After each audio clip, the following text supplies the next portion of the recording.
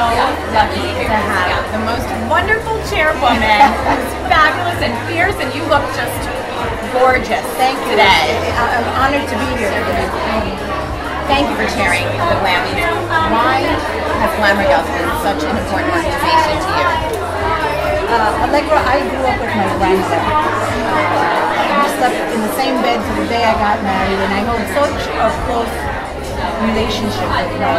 And I, I lost her back in 2002, and this organization represents so much of the relationship that I had with my grandmother, that bond, you know, that she she trusted me. She was like I was like her companion.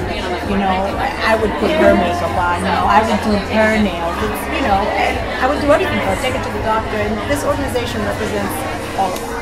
You know, you're, you're making me miss my grandmother as you're talking about your grandmother, and that's and I share that. It's a that beautiful passion. relationship. It really, really is. And, and thank you for being our sponsor time and time again uh, with Martin Brothers Wine and Spirits. Uh, tell us about your involvement as a sponsor in your business.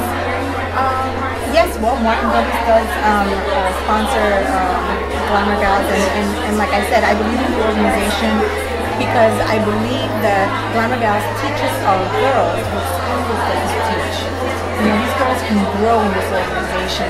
They have training, they have they, they leadership skills. They learn they learn to be organized. They learn to be uh, empowered, and that's what I that I believe in it, and that's why I sponsor.